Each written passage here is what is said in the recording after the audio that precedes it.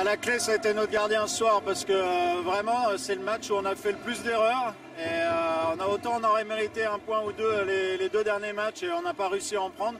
Que ce soir, on a fait beaucoup plus d'erreurs, mais euh, au deuxième tiers, il, nous a tenus dans le match. Et même, même à 2-0, ils ont encore poussé. Il a, il a réussi à, à tout repousser. Et bon, après, il y, a, quand même eu l'effort de l'équipe. Ça s'est vraiment battu, sacrifié. Et voilà, on a su mettre les occasions qu'on a eues. Et vraiment, vraiment fier de, cette équipe d'avoir mérité de, prendre ses points, de toujours vivre dans cette compétition. Et puis voilà, il nous restera deux matchs. Maintenant, la qualification est encore possible.